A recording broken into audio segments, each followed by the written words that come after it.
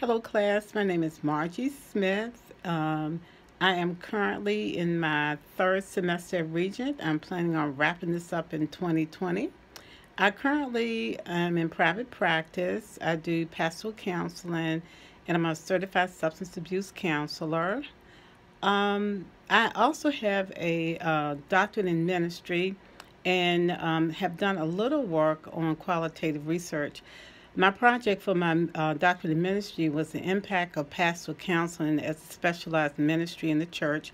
And some of my colleagues in the class were pastors, so they were good enough to do some surveys for me from their congregations, and I gathered the information and analyzed that information. As far as fears for taking this class, I don't have any fears. Um, I think it's going to be an interesting class. I've started some of the readings, and it's it's really pretty detailed, but I think it's going to be very good.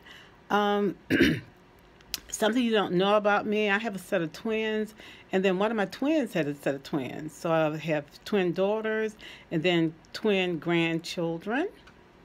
Um, my prayer request for the class is that we all, and we will, we all will um, get through the class successfully, that we will all end up doing whatever it is that we want to do with our PhD.